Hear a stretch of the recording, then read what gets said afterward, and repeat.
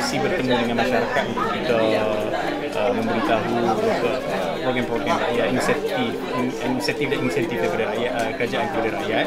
Dan masa sama juga saya boleh dah tahu lah permasalahan uh, di peringkat lokal di peringkat tempatan yang boleh saya cuba selesaikan dan hari ini saya menerima beberapa permohonan daripada persatuan penduduk dan juga beberapa orang persorangan uh, untuk diringankan uh, beban dan juga uh, untuk uh, perjalanan persatuan penduduk di kawasan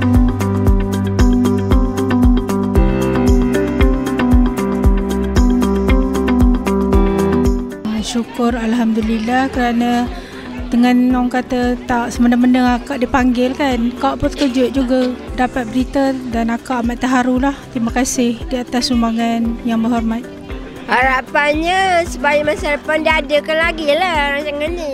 Untuk program kita pada petang ni rasanya Alhamdulillah terbaik uh, dengan uh, adanya program macam ni YB boleh jumpa dengan semua rakyat YB dengan santai boleh sembang boleh soal jawab dengan uh, YB dan juga rakyat Lepas tu harapan saya untuk YB ni akan diteruskan lagi lah bagi memastikan rakyat kita ni terbela. Alhamdulillah kira okey lah dapat kita beramah mesra dengan YB. Dapat kita tahu cara dia, peribadi dia. Jadi dia kira macam dah ambil berat lah dengan rakyat-rakyat setempat ni. Perasaan saya tunggu terharu lah sebab ada orang yang ingatkan saya, anak-anak saya ramai kan. Alhamdulillah kerana memberi sumbangan pada kami asnaf yang tak upaya ni lah. Uh, harapan saya supaya uh, program ni dapat diteruskan lagi bagi peluang pada orang-orang yang lebih susah daripada kami lagi. Sayangi sayangi sayangi sayangi perakku. Hari ini bersama dengan rakan-rakan daripada pejabat saya dan juga pengurusi MPKK uh, datang menziarah orang kuat Persatuan Ibu Tunggal Negeri Perak uh, Puan Wan Safaria uh, yang saya ingat beberapa puluh tahun, beberapa tahun jadi pengurusi Persatuan Ibu Tunggal saya kira orang akan kenal dia. Siapa jadi pimpinan kerajaan negeri akan kenal nama susuk tubuh yang mempunyai apa semangat untuk membantu ibu-ibu tunggal.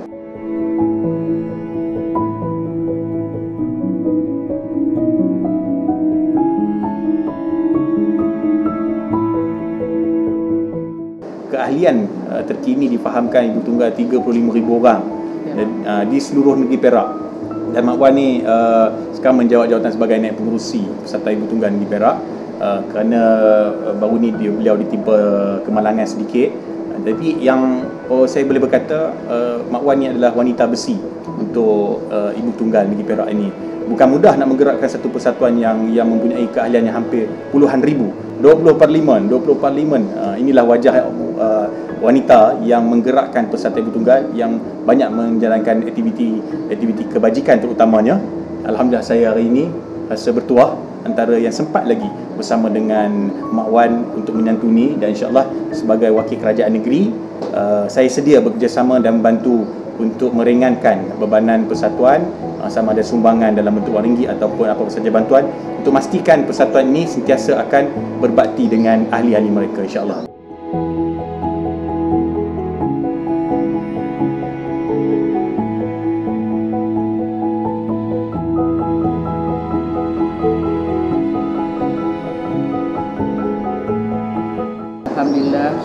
Kepada Allah SWT dengan limpah dan dunia kepada Allah.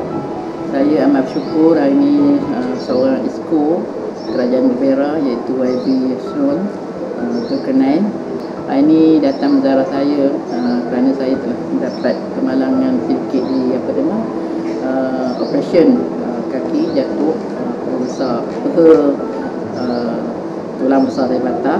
Saya minta lah uh, kepada yang hormat selaku ISKO Kerajaan Perak akan membantu ya membantu Ibu Tunggal Perak yang mempunyai 20 parlimen dengan adanya yang berhormat ni peruntukannya akan disalur pada Ibu Tunggal saya bersyukur pada Allah lah kerana dapat pembelaan Ibu Tunggal kerana Ibu Tunggal ni kebanyakannya uh, yang kematian suami ada 45%. Oh. Selebih itu ya kematian suami ada 55%. Saya tadi dah uh, YB uh, mengalu-alu lah untuk membantu ibu tunggal saya nak syukur kepada Allah Taala. Okey, terima kasih kepada Mak Wan.